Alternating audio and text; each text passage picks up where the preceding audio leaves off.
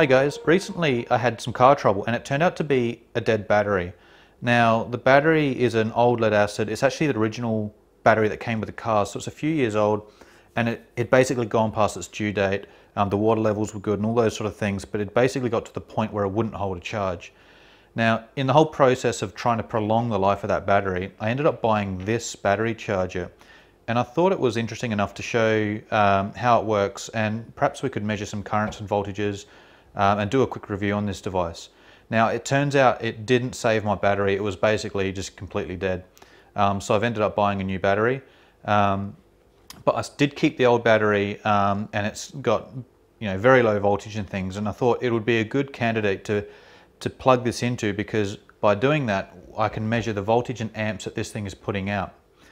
Um, the reason why this may be interesting is because this is a um, smart charger apparently. Um, it's, it's fully automatic, so there's only one button on it, and the button is basically choose what type of battery you have between gel, lead acid, or a calcium battery.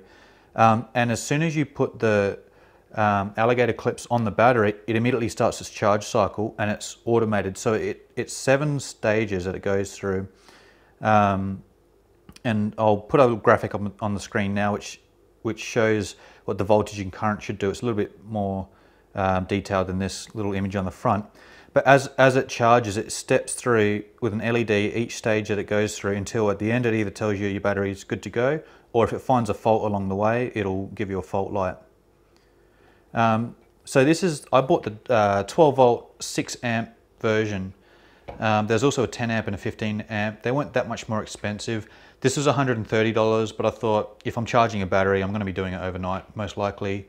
Um, and it was a little bit cheaper, so I ended up buying this one.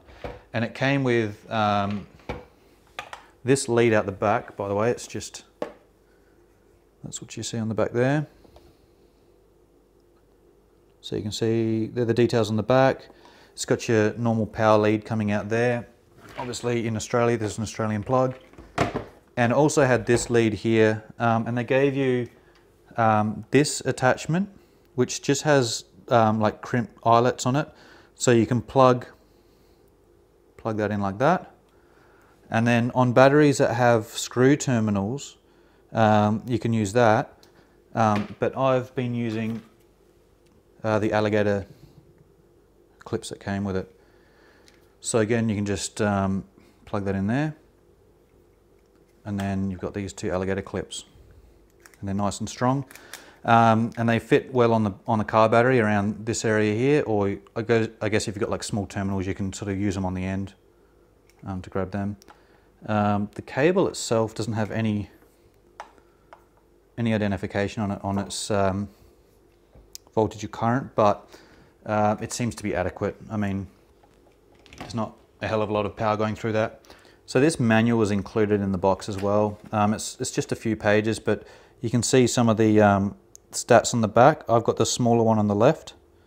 Um, they're all basically the same. The only difference is the current is uh, different between them, but all the other stats are basically the same. So uh, it also describes a few of the features. It's got a microchip. Uh, it's monitoring the voltage and current in and out of the device. Um, it's got automatic, you know, uh, monitoring and fault detection and protection against short circuit, reverse, reverse polarity, and a few other bits and pieces. Um, but the bit that I found more interesting was the charge cycles. So what I might do now is take the charger outside and hook it up to my old dead car battery um, and I'll put a multimeter on the battery voltage and also in series so we can get a, a current reading as well. And we'll see exactly what happens through the seven stages. So I've set this up here on my uh, little workbench here in the garage just because it's quite windy outside. Um, now it's all a little bit uh, crazy with the wires and things, but I've got this all hooked up. This is currently off. As soon as I turn it on, because it's connected, it'll start stepping through the stages. Uh, the fluke here is showing the voltage at 12.35 volts DC at the moment. Um, now, as soon as a load goes on this, that drops down to like 10 volts. It's the, the battery is essentially dead flat at the moment. Um, this Protek 608 is showing our amps um, being um, sent from the charger into the battery. Um, and so we'll turn it on now and I expect to see the desulfation phase will pulse the voltage and current. Now it's going to happen at 60 kilohertz apparently. I don't know how accurate these readings will be when it's when it's modulating that quickly, uh, but we'll flick it on now and we'll see what happens.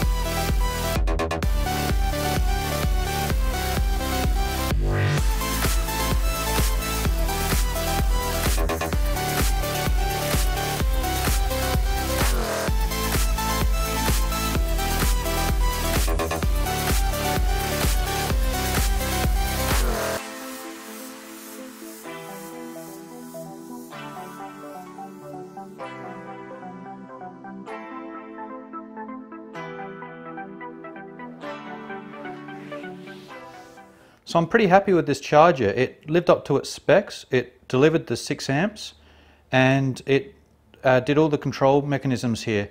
And it seemed to do um, that fairly precisely. Uh, it, it, had decent uh, measurement, obviously, on the um, on the amps and voltage coming out of this thing.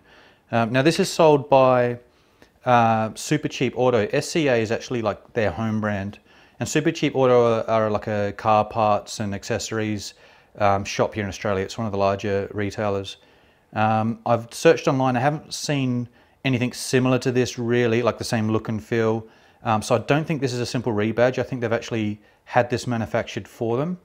Um, but uh, yeah, well, that's the company anyway. So you can look up that and uh, see if you can find any more uh, information on that.